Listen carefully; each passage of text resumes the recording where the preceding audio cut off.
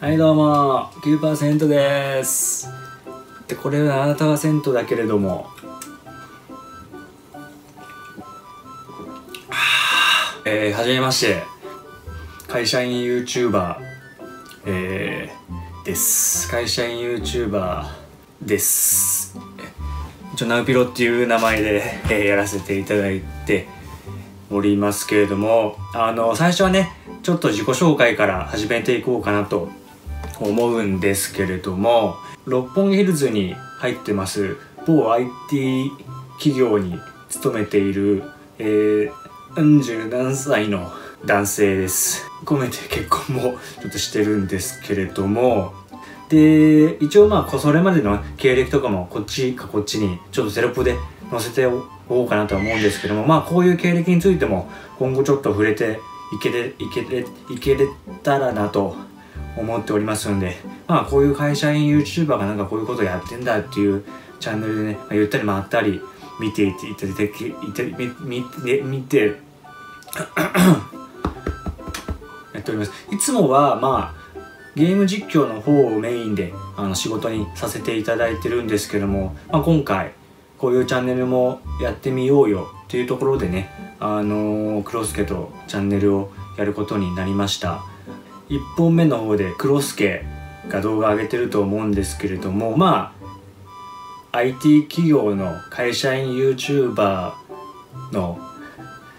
なんとかかんとかを動画にしていこうじゃないよっていうチャンネルですね。で本来であればまあクロスケと2人であれやったりこれやったりっていうのをあの動画にしていこうかなと思うんですけども昨今のこの状況で、えーまあ、在宅ワークテレワークリモートワーク在宅ワークテレワークリモートワークの時代に入っておりますんでまあ別々でもねそういう状況で、え、動画上げていけばいいじゃないのというところでやっていきたいと思います。でまあ1本目は僕の方でもデスク周り。特に僕はこの後すぐ動画の方でもわかると思うんですけど机とか椅子とか持ってなかったんで裸一貫段ボールでテレワークをしていたんですよ。ですけれどもあの会社がね「いやお前椅子と机買ってやるよ」っていう。それでやれ。段ボールじゃ段ボールに座布団ゲーミングチェアじゃ辛いだろっていう粋な計らいをしていただくことになりましたので今回そのどういうふうに僕のテレワークが僕の在宅ワークが僕のリモートワークが変わっていったのかっていうのを、えー、この後もね動画で紹介できたらなと思いますんで1本目もちょっと見ていただければと思います。髪切りて。えな髪切ろう。髪髪切る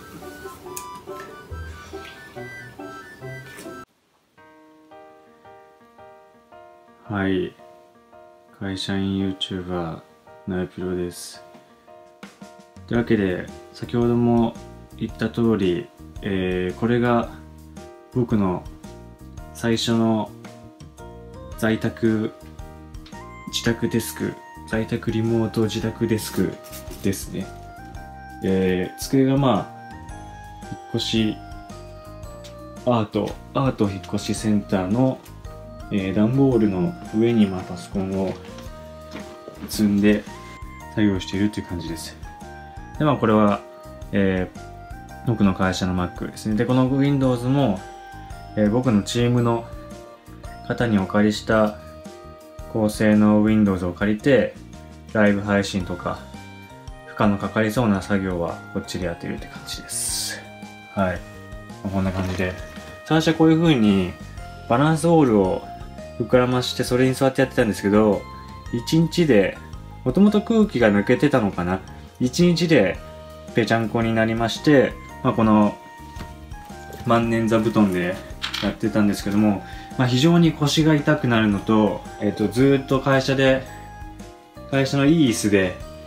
に座ってやってたから、まあ、環境が良かったですよ。机もその、それこそ段ボールじゃなく、いい机。なんか Wi-Fi コンセントが常備されてる机にやってたんですけれども、まあ、地べたで急にやると体調も悪くなるし、普段と違うね、あのー、作業環境なので、パフォーマンスもちょっと落ちてきたかなという中で、えー、まあ、2週間ほどやってまいりました。まあ、意外に編集だけするんであれば、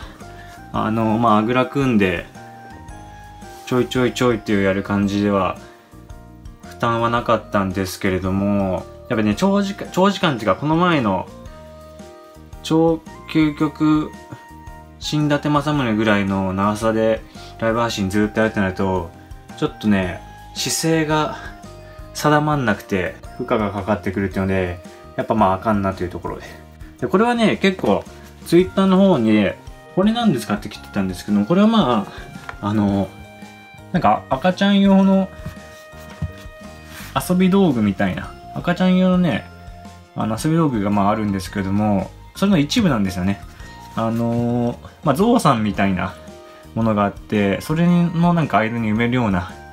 鳥なのか何なのかちょっとわかんないんですけども、それはなんかウレタンかな？ウレタンでまあ全然痛くない、や、硬いけど柔らかいみたいな素材でできてて、それを、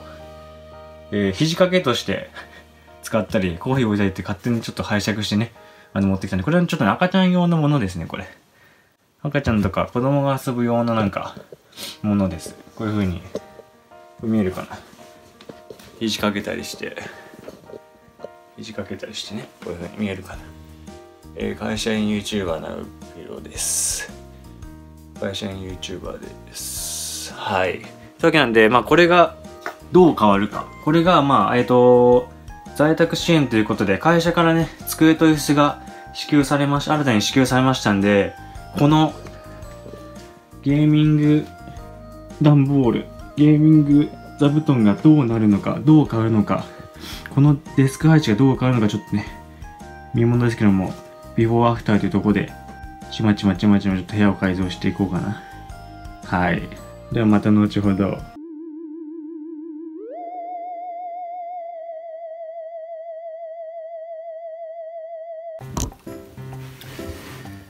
はい。というわけで、えー、一通り作業のフォーム終わり、ついに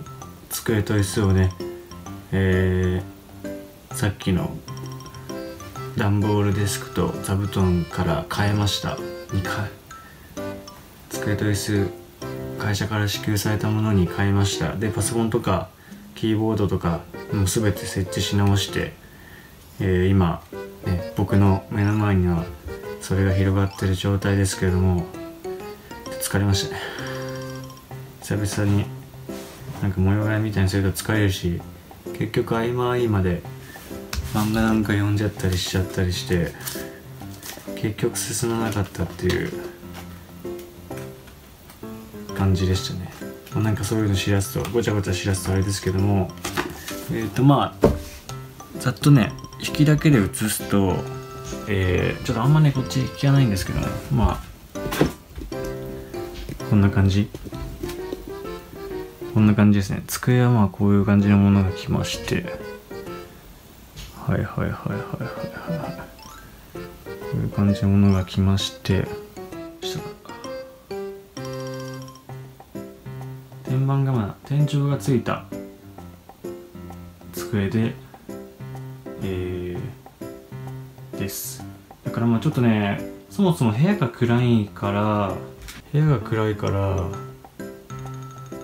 旦まあこの棒のところにスタンドライトみたいななんかを買ってねちょっと明るくしようかなと思ってここちょっと一応影になっちゃうから動画撮る分には全然問題ないんですけどでこういう風に引き出し式のところに Windows の方のえー、キーボードのマウスは置いてます。下にねこれでこれ椅子。肘掛け付きの椅子。悪くない。全然悪くない。でこのジェルクッションもなんかご好意でつけてもらったみたいで。このこれよりもお尻がね硬くなな普通の合わせるとちょっとクッションが硬いんですけどこのジェルクッションみたいななんか穴が開いてるすげえ穴が開いてるジェルクッションみたいなとまあ、力が分散されてよりお尻疲れないよっていう感じです。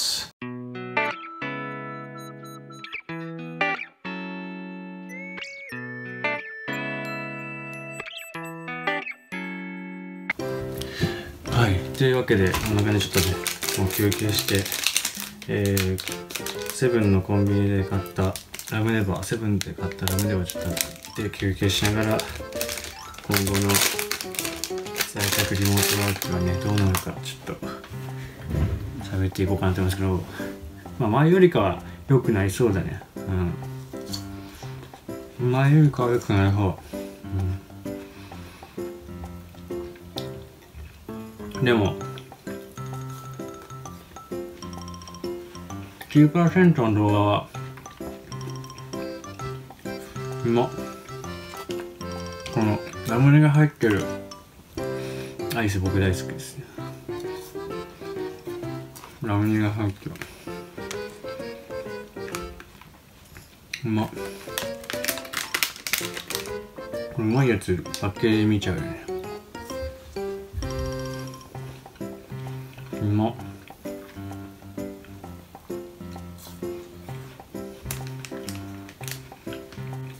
あの9%の方は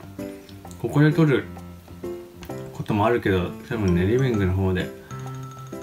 撮るってことも多くなってくるんでプロジェクトインザライブしたところで、まあ、そこで撮るってことが多くなってくるからあんまりここでは撮らないかもしれないけど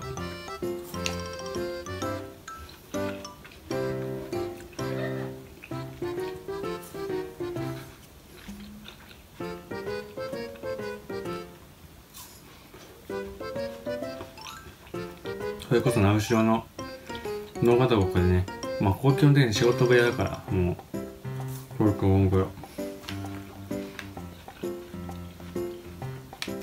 うまっこれね買ったの忘れてたんです。よ買ったの忘れてた。あった。あったと思って。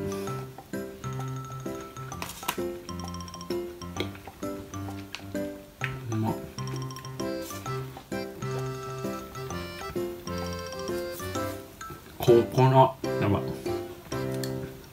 このこうなった時の。こうなった時の。ここのこうなったらもう左右から食べる。サイドずつ食べていく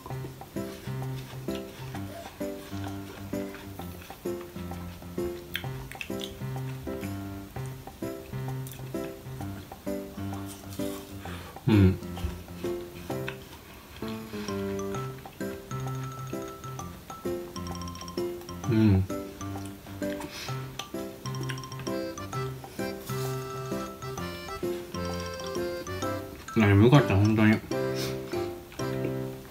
店があるだけで全然違うわ。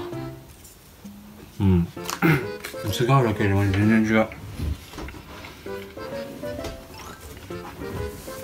この上でこれもねこれもできるし全然違う。いけそう。ライブもこれで長いのが来ても。割とリラックスしながら体勢を荒くのもできそうですね。はい。というわけで会社員 YouTuber ナウピロの在宅ワーク会社から支給されたデスクと椅子の紹介でした。まあ使ってないけどまだ。まだ使ってないけど在宅リモートこんな感じでした。デスクと椅子の紹介。まあ具体的になんかやってるところは垂れ流しでまた撮ろうと撮ってね。あの9%の方に出していこうかなと思うんで皆さんぜひそちらも見ていただければと思います。あとチャンネル登録してなかったわって人はこの機会にぜひねどんどんしていっていただけると今後もこんな風な動画上げていくと思いますんで会社員 YouTuber の実情をね上げていくと思いますんで皆さんぜひ。クルスクも多分上がっていくかな、うん、それが一緒になってるかな。うん。